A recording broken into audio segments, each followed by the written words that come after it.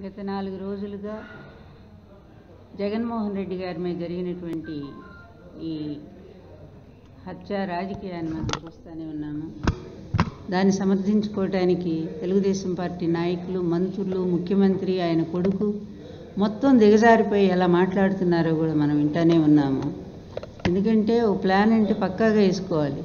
కానీ ఇంత దరిద్ర ప్లాన్ చంద్రబాబు నాయుడు వేస్తాడంటేనే చాలా అసహ్యం అనిపిస్తూ ఉంది. ఎందుకంటే అతని జీవితమే దీన్ని బట్టి చూస్తేనే అర్థమవుతా ఉంది. అతని జీవితమే మొత్తం మరకలతో నిండిపోయింది. ఎంతసేపు ఉన్నా ప్రత్యక్ష రాజకీయాలు డైరెక్ట్గా ఫేస్ చేయటం తెలియదు ఇతనికి. వెన్నుపోటు రాజకీయాలు పక్కదారి రాజకీయాలు అక్రమ మార్గాలు అన్యాయాలు అవినీతి ఇదంతా కూడా అతను పుట్టుకతో ఆయనకు వచ్చినటువంటి ఆయన ఎంఏలోనో లేకపోతే పిహెచ్డీలో నేర్చుకున్నటువంటి విద్యలోనో అనుకోవాల్సి వస్తూ ఉంది. ఈ విధంగా చూస్తూ ఉంటే అసలు మొట్టమొదట తెలుగుదేశం పార్టీ ఎన్టీఆర్ గారు స్థాపించినప్పుడు ఎంత ఉన్నతమైన ఆశయాలతో ఆయన పార్టీ పెట్టడం జరిగింది. అదేవిధంగా ఆ పార్టీ విధానాలు అనేది ప్రతి ఒక్కళ్ళకు కూడా అందుబాటులో తీసుకెళ్ళి ఒక న్యాయమైనటువంటి పరిపాలన అవినీతి రహితమైనటువంటి పరిపాలనతో ఆ రోజు మహానుభావుడు తెలుగు వాళ్ళందరికీ న్యాయం జరగాలని ఒక ఆత్మగౌరవ నినాదంతో విధానంతో ఆ రోజు పార్టీని స్థాపించి జాతీయ స్థాయిలో కాదు అంతర్జాతీయ స్థాయిలోనే ఆ పార్టీకి ఒక పేరు తీసుకొచ్చి తెలుగుదేశం అని ఇప్పటికి కూడా మీరు బతుకుతున్నారంటే చెట్టు పేరు చెప్పుకొని కాయలు అమ్ముకొని బతుకుతున్నట్టుగా బతుకుతున్నారు. ఇప్పటికి కూడా ఆయన పేరు చెప్పుకొని ఆ పార్టీ పేరు చెప్పుకొని అట్లాంటి పార్టీని ఈరోజు ఎంత అధమ స్థాయిలోకి దిగజార్చేసి పార్టీ విలువలన్నీ తుంగలో తొక్కి సిద్ధాంతాలన్నీ గాలికి వదిలేసి ఎన్టీఆర్ గారిని వెన్నుపోటు పొడవటం మొదలుపెట్టి ఇప్పటి వరకు కూడాను సాగించినటువంటి రాజకీయము ఒక నీచమైన ఒక భ్రష్టమైనటువంటి రాజకీయము. ఇంతవరకు తెలిసి కూడా ఎంతోమంది రాజకీయాలు చేశారు. రాజకీయ చరిత్ర చరిత్రలో అనేక మంది వెన్నుపోటు పొడవటానికి ప్రయత్నం చేశారు. అనేక మంది గవర్నమెంట్ను గవర్నమెంట్ని దించడానికి ప్రయత్నం చేస్తారు. లేదంటే ఎమ్మెల్యేలు కొనుక్కోవడం ద్వారా ఫిరాయింపు నిరోధ చట్టం ద్వారా ఫిరాయింపును ప్రోత్సహించడం ద్వారా. కానీ ఇంత దగుల్బాజీ రాజకీయాన్ని గతంలో కానీ ఇప్పుడు కానీ ఎవరు చేయలే చరిత్రలో. ఇతను ఒక్కడే దానికి పూర్తిగా ఒక ట్రేడ్ మార్క్గా ఉన్నాడని అనిపిస్తూ ఉంది. అందువలన ఒక్క ఒక్కటి ఒక్కోటి మనం పరిశీలించుకుంటా చూస్తూ వస్తూ ఉంటే ఎన్ ఎన్టీఆర్ గారిని దించిన దగ్గర నుంచి ఆ తర్వాత సాగించినటువంటి అనేక హత్యా రాజకీయాలు అవన్నీ కూడా చాలా తెలుసు. మళ్ళీ మనం వాటి గురించి మనం మాట్లాడుకునే దగ్గర నుంచి. ఆఖరి రంగా హత్య గురించి కూడా మరి ఇతని మీదే పేరు వచ్చింది. తర్వాత పింగళి దశరథరామ్ దగ్గర నుంచి అనేక మంది హత్యలతో ఇతనికి సంబంధం ఉందనేటువంటి విషయము ఆ రోజు పత్రికలు చెప్పినాయి ఆ రోజు నాయకులు మాట్లాడారు.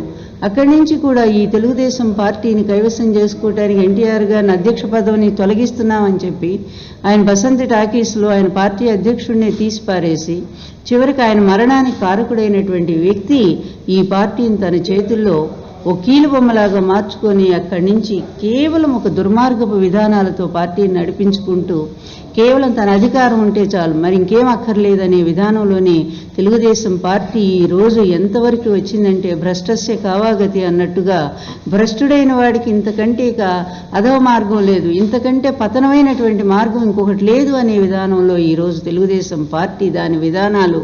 చూస్తూ ఉంటే నిజంగా ఎన్టీఆర్ గారు బ్రతుకుంటే మరోసారి ఆయన ఆత్మహత్య చేసుకునేవారేమనంత బాధ కలుగుతూ ఉంది. ఆయన ఆత్మ ఎంత క్షోభిస్తూ ఉందనేది కూడా అర్థమవుతా ఉంది. ఈ రోజు అతను చేస్తున్నటువంటిది నీ కొడుకుని ముఖ్యమంత్రిని చెయ్యాలని చెప్పి నీ మిత్రుడు నిన్ను అనేక సార్లు కాపాడినటువంటి వాడు నీ కుటుంబ గౌరవాన్ని నిలబెట్టినటువంటి మహానుభావుడు వైఎస్ రాజశేఖర రెడ్డి గారు నీ మీదేసిన అవినీతి కేసు కూడా నువ్వు కాళ్ళు పట్టుకుంటే దాన్ని విత్డ్రా చేసుకొని నీ పరువును కాపాడినటువంటి వాడు. ఆయన చనిపోయి ఆ బిడ్డ ఈ పో పోరాటాన్ని ప్రజా పోరాటాన్ని ప్రజల్లోకి తీసుకెళ్ళడానికి ఆ అబ్బాయి ప్రయత్నం చేస్తుంటే ఒంటరి పోరాటం చేస్తూ ఉంటే ఆ అబ్బాయి మీద కక్ష కడతావా? నీ వయసు నీ నలభై ఏళ్ళ నీ అనుభవం ఎందుకు తగలబెట్టనా? ఒక చిన్న పిల్లాడి మీద నీ నలభై ఏళ్ళ అనుభవాన్ని ప్రయోగించి ఆ పిల్లాడిని మట్టుపెట్టి ఏదో నువ్వు రాజకీయంగా నీ కొడుకును ముఖ్యమంత్రిని చేసుకోవాలని ఇంత నీచమైన పన్నుగడ ఎవరైనా చేస్తారు? నాకు తెలిసి మనిషి జాతిలో ఎవరు కూడా ఇంత దిగజారిన రాజకీయం మాత్రం ఎవరు చేయలేరు ఒక్క చంద్రబాబు నాయుడు తప్ప. ఎంత హీనమైన స్థితిలో నువ్వు రాజకీయాలు ఈ రోజు నడిపిస్తున్నావో నువ్వు చ- ప్రత్యేక హోదా తీసుకురాలేకపోయావు రాష్ట్రం పోలవరాన్ని కట్టలేకపోయావు ప్రతి దాంట్లో అవినీతి రాజ్యం వెళ్తా ఉంది నీ ఎమ్మెల్యేని కంట్రోల్ చేయలేకపోయావు పరిపాలనంత అస్తవ్యస్తంగా తయారైపోయింది లాండ్ ఆర్డర్ లేదు ఈ వైఎస్ఆర్ కాంగ్రెస్ పార్టీ సంబంధించిన వాళ్ళు ఇరవై రెండు మందిని హత్య చేస్తే ఒక్కడిని కూడా అరెస్ట్ చేయలేదు. ఇదా అదేవిధంగా నీ ఎమ్మెల్యేలు నిన్ను నమ్మి నీ పార్టీలోకి వచ్చినందుకు ఒక ఎక్స్ ఎమ్మెల్యే ఒక ఎమ్మెల్యే ఇద్దరు మావోయిస్టులు చేతిలో పెట్టావు. ఈ ఒక అసమర్థ పరిపాలన ఈ రాష్ట్రంలో కొనసాగుతూ ఉంది. అందువల్ల నీ అవ అసమర్థతని ఇదంతా కప్పిపుచ్చుకోవటానికి ప్రజాకర్షణ కలిగినటువంటి జగన్మోహన్ రెడ్డిని ప్రజాభిమానం పూర్తిగా పొంది ప్రజలంతా కూడా ఈ రోజు ఇటువంటి హుందా రాజకీయం మాకు కావాలి? ఇట్లాంటి ఒక పరిపాలన దక్షత కలిగిన వైఎస్ రాజశేఖర రెడ్డి గారి కొడుకైతేనే మాకు న్యాయం జరుగుతుందని ప్రజలు విపరీతంగా తిరణాల్లాగా వెళుతున్నారు అతను పాదయాత్రకి.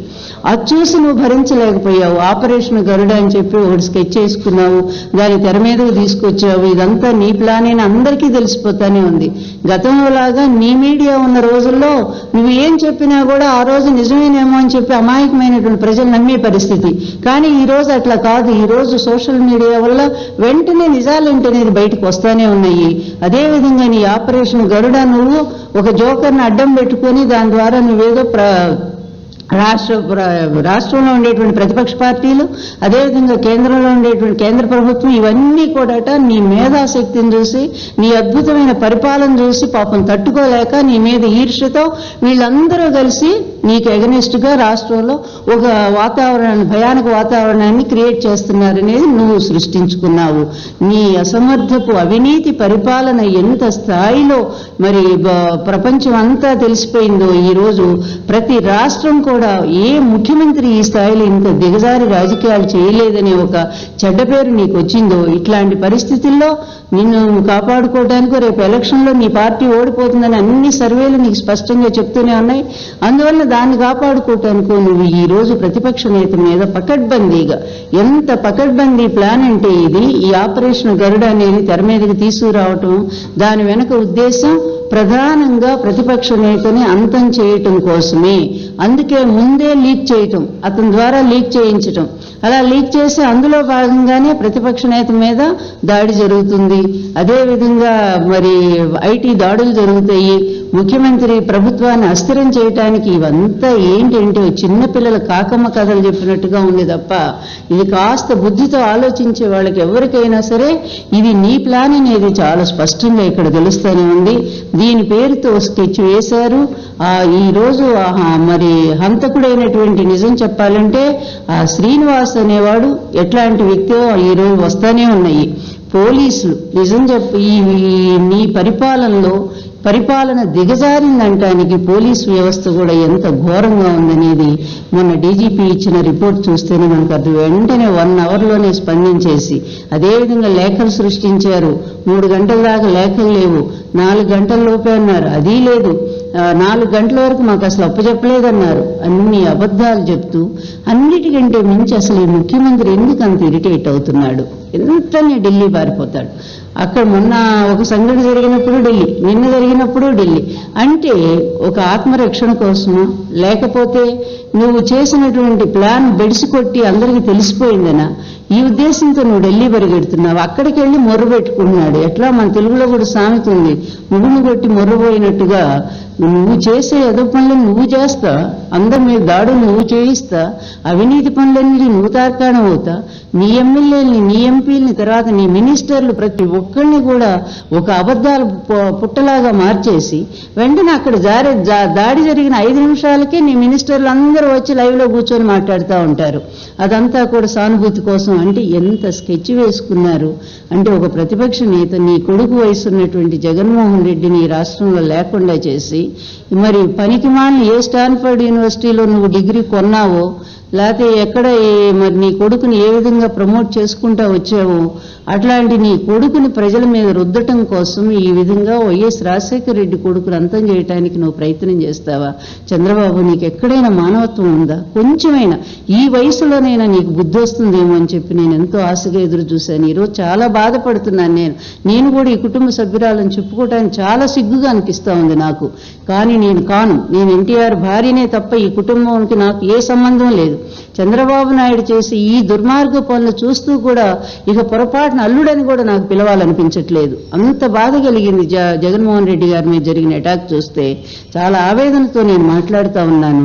ఎందుకంటే నీకు డెబ్బై ఏళ్ళ వయసు వచ్చింది ఎప్పుడు పోతావో తెలియదు పో పోయిన తర్వాత నీకు కావాల్సింది ఆరు అడుగులు నేలే తప్ప నువ్వు సంపాదించిన ఆరు లక్షల కోట్ల ఆస్తులైతే నీ వెంట రావు కదా.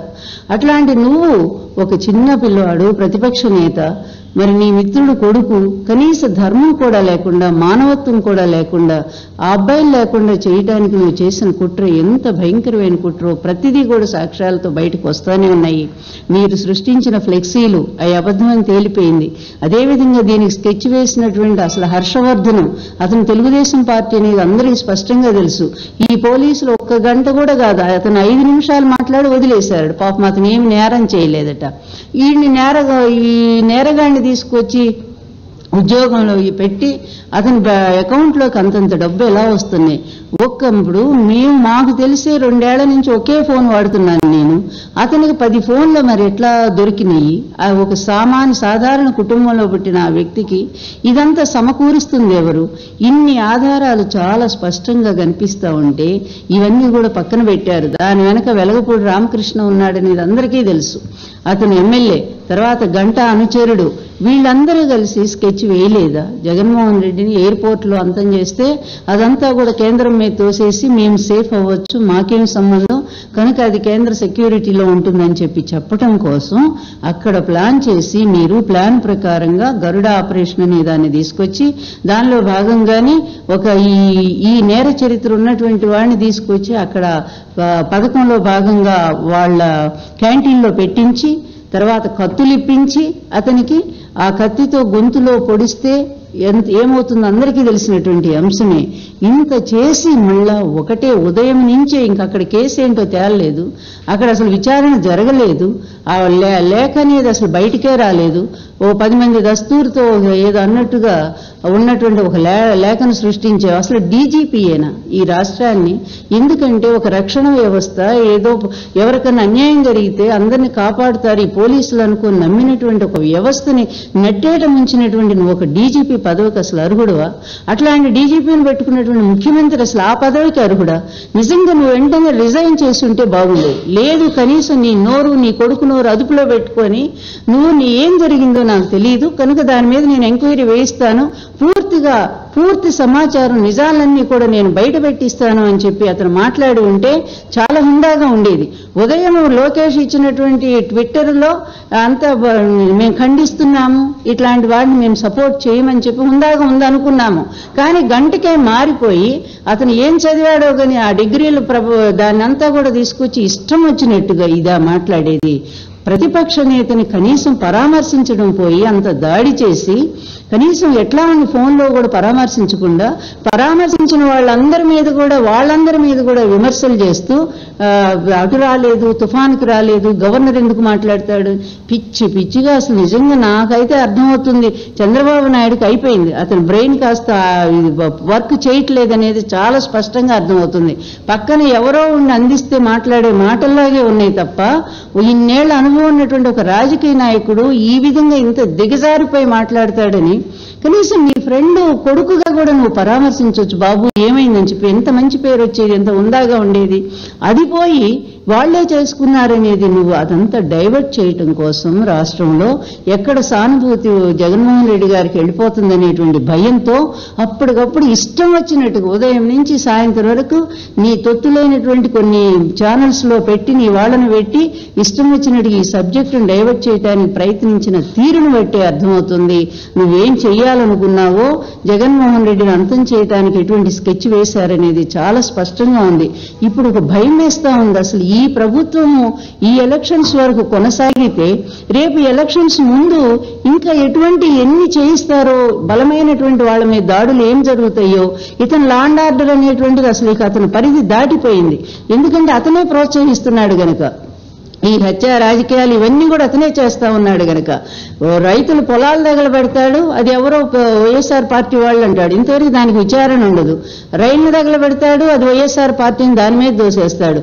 ఈ రోజు అంతే హత్యా ప్రయత్నం చేసి వాళ్ళే చేసుకున్నారని చెప్తావు. ఈ విధంగా నిస్సిగ్గుగా అబద్ధాలు చెప్పేటువంటి నీ ముఖ్యమంత్రితనం ఈ ప్రజలకు అవసరమా అని చెప్పి నేను అడుగుతా ఉన్నాను. ఇప్పుడైనా కొంచెమైనా నువ్వు సిగ్గుపడితే ఇంతైనా మానవత్వం అనేది నీలో ఉంటే ఇప్పుడైనా సరే నువ్వు రిజైన్ చెయ్యి. చేసి ఎలక్షన్స్కు నువ్వు రెడీ అవ్వు. ఏంటో మేమేంటో మా శక్తి ఏంటో మా ప్రజల సత్తా ఏంటో మేము చూపించడానికి మేము సిద్ధంగా ఉన్నామని చెప్పి చంద్రబాబుకు మేము సవాల్ విసురుతా ఉన్నాము. ఇటువంటి నీచమైన ఈ భ్రష్టమైనటువంటి హీనమైన ఈ హత్యా రాజకీయాలను ఈ విధంగా కొనసాగింపుగా నువ్వు ముందుకు తీసుకెళ్ళాలనుకుంటే ప్రజలే బుద్ధి చెప్పడానికి సిద్ధంగా ఉన్నారని కూడా నిన్ను మేము హెచ్చరిస్తా ఉన్నాం. ఆపు ఇక ఆపేసే ఇక ఇంతటితో నువ్వు ఇంక అయిపోయింది. నీ చాప్టర్ క్లోజ్ అవుతా ఉంది. ఇక నుంచి నువ్వు రేపు ప్రజాస్వామ్య వ్యవస్థలో జరిగేటువంటి ఎలక్షన్లో నీ కనీసం డిపాజిట్లు కూడా రానటువంటి పరిస్థితి నీకు వచ్చేసింది.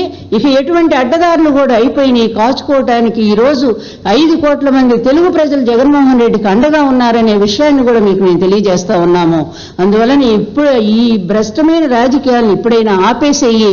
అందువల్ల నువ్వు జరగబోయేటువంటి ఎలక్షన్ ఫలితాల కోసం ఎదురు చూడు ఇంకా మాట్లాడుతూ ఉంటే మీ పరువే పోతుంది తప్ప మాకు ఇంకా అభిమానం పెరుగుతా ఉంది జగన్మోహన్ రెడ్డికి సానుభూతి పెరుగుతా ఉంది. అందువలన ఇటువంటి ఈ నీచ సంస్కృతి ఎంత పెంచి పోషించుకుంటూ వచ్చి అయిపోయిన చివరి ఇది లాస్ట్ చాప్టర్ అని మేము అనుకుంటున్నాం. నీ జీవితంలో చివరి చాప్టర్ ఇది.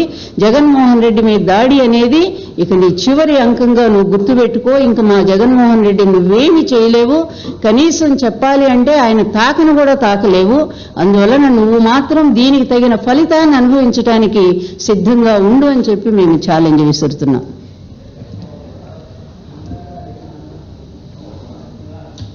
ఎస్ ఆ రోజు నీ మీద అలిపిరిలో దాడి జరిగితే వైఎస్ రాజశేఖర రెడ్డి గారు ఎంత పెద్ద మనసు ఎంత పెద్ద మనిషి ఒక్కసారి మనం గుర్తు చేసుకోవాలి ఇక్కడ. నీ మీద దాడి జరిగితే ఆయన ఒక రోజంతా కూడా నిరాహార దీక్ష చేశారు. నీకు సానుభూతిగా. అదేవిధంగా అప్పటి వరకు మాట్లాడడం నేను కూడా వెళ్ళి ఆయన ఇంటికి వెళ్ళి పలకరించి వచ్చాను.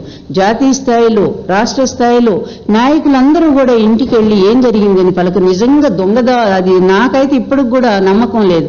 చంద్రబాబు నాయుడు రాజకీయ విధానాలే అట్లాగా ఉంటాయి మీకు గుర్తుండే ఉంటుంది పాండ్యం బై ఎలక్షన్ జరిగినప్పుడు అప్పుడు రేణుకా చౌదరి నిలబెడితే తన కారు మీద తనే బాంబు వేయించుకొని ప్రతిపక్షం వాళ్ళు వేశారు అని చెప్పి గొడవ చేసిన మహానుభావుడు ఈయన అట్లాంటి వాడు ఈ రోజు కూడా తన సానుభూతి కోసం ఆ రోజు కూడా అలిపిరిలో మరి నక్సలైట్లు ఎవరో లొంగిపోయిన నక్సలైట్ల ద్వారా ఏమైనా పెట్టించుకున్నాడో లేకపోతే తన మనుషుల ద్వారా పెట్టించుకున్నాడో కనీసం అతనికి చిన్న గాయం కూడా జరగలేదు.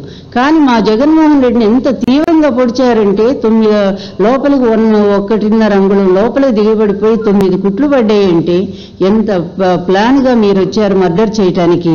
అలాంటిది నీకు జరిగిన సంఘటన మీద ఆ రోజు ఆ పెద్ద మనిషి అంత సహృదయంతో స్పందించి నీకు సపోర్ట్గా ఆ రోజు నిలబడితే ఈ రోజు ఒక్క మాట ఫోన్ ద్వారా నువ్వు బలకరించవా? పైగానేమో ఎక్కడ లేని కోపంతో ఆయన బలకరిస్తారా? ఆయన బలకరి అంటే నీ బుద్ధి అంతా నీ కుళ్ళు బుద్ధి మొత్తం కూడా నువ్వు బయట పెట్టుకున్నావు. నీ అంతా నువ్వే బయట పెట్టుకున్నావు. నీ స్కెచ్ అంతా నీ ప్లాన్ అంతా నువ్వే బయట పెట్టుకున్నావు. నీ కృత్రిమమైనటువంటి ఉత్తరాల ద్వారాను లేకపోతే నీ ఫ్లెక్సీల ద్వారాను ఇదంతా కూడా నువ్వే చేశావని నేరాన్ని నువ్వే ఒప్పుకున్నట్టుగా చేసుకున్నావు. అందుకే రాజశేఖర్ రెడ్డి గారికి నీకు హస్తి మెస్కాంతర తేడా ఉంది. ఏం చేసినా కూడా మన కుటుంబంలో ఏం జరిగినా మహానుభావుడు అండగా నిలబడ్డాడు. కానీ నువ్వేమి నిలబడ్డావు? ఆయన మరణం తర్వాత జగన్మోహన్ రెడ్డిని జైలు పంపడానికి నువ్వు ఎన్ని రకాల ప్రయత్నం చేశావు? చీకట్లో చిదంబరాన్ని గెలిచావు. లేని కేసులన్నీ నువ్వు ఇచ్చావు. శంకరం ఆయన శంకరరావు గారి ఉత్తరం రాయించావు. ఆ తర్వాత ఇంప్లిమేషన్ గా నువ్వు ఎర్రనాయుడుతో వేసావు. ఇన్ని రకాలు చేసి మూడు నెలలు ఉండాల్సిన వ్యక్తిని పదహారు నెలలు ఉంచి నీ ఇన్ఫ్లుయెన్స్తో ఇంత కక్ష సాధింపుగా నీ మిత్రుడు కొడుకు నేను చేస్తానే ఉన్నావు. కానీ అందుకే అందుకే నువ్వు అసలు ఈ మా ఈ మనిషి వ్యవస్థలో నువ్వు నివసించడానికి కూడా అర్హత లేనటువంటి వ్యక్తి చంద్రబాబు. నీకు కరెక్ట్ ప్లేస్ ఎక్కడంటే అడవి మాత్రమే. ఆ జంతువులతో పాటు ఒక జంతువుగా నువ్వు అక్కడ తిరిగితే బాగుంటుందని నా అభిప్రాయం.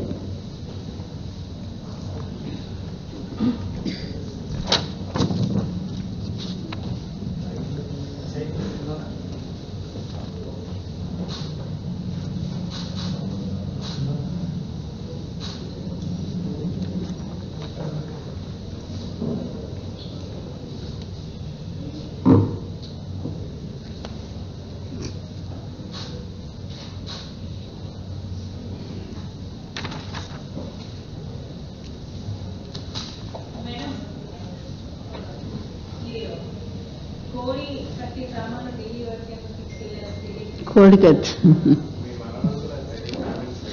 అదే కదా ఒకటే పెడుతున్నాడు ఆయన అదే ఇప్పుడు డిగ్రీ చదువుకున్న వాళ్ళైతే పర్వాలా? చదువుకున్న వాళ్ళు ఎలా ఉంటారంటే ఇదిగో ఇలాగే ఉంటారు. స్టాన్ఫర్డ్ యూనివర్సిటీ అరవై కోట్లు కట్టి డిగ్రీ తెచ్చుకుంటే ఇదిగో ఇలాగే మాట్లాడుతుంటారు వాళ్ళు.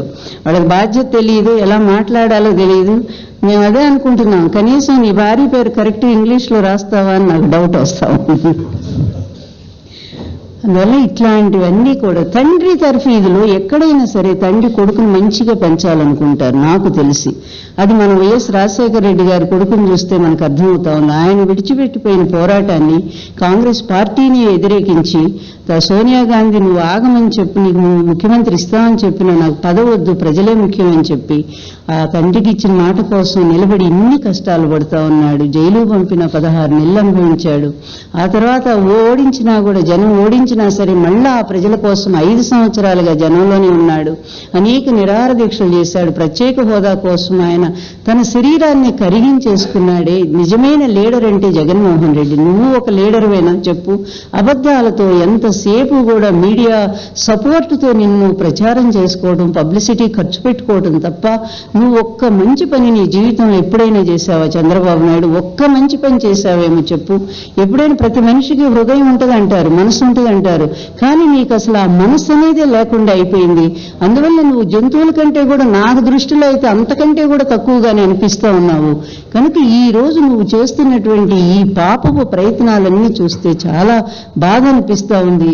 ఎన్టీఆర్ అల్లుడని చెప్పుకోవడానికి కూడా సిగ్గుపడేటువంటి వ్యవస్థను నువ్వు ఇలా సృష్టించినందుకు నేను నేను మాత్రం చాలా బాధపడుతా ఉన్నాను నేను. అందువల్ల తండ్రి బాటలోనే కొడుకున్నాడు. అందులో కొత్త ఏముంది ఎందుకంటే ఆవు చేలో మేస్తే దూడ గట్టును మేస్తుందా అని ఒక సామెత. తండ్రి అవినీతి అంతా కూడా కొడుకు నేర్పుకున్నాడు. అదే ఇదిలో అదే ఒక వారసత్వాన్ని అతను కొనసాగిస్తా ఉన్నాడు. ఎంత నీచంగా మాట్లాడతారండి కోడికత్తికే అంత అంటారా? ఆ కోడికత్తితో ఒక్కసారి మీ నాన్న బొడి చూడు నీకు తెలుస్తుంది మరి. అప్పుడు అర్థమవుతుంది ఆ కోడికత్తి పవర్ ఏంటో నీకు మరి. అప్పుడు తెలిసి నువ్వు కూడా సానుభూతి చాలా తెచ్చుకోవచ్చు మరి. తండ్రినే తండ్రినే పడిచిన కొడుకు అని చెప్పి గొప్ప సానుభూతి వస్తుంది.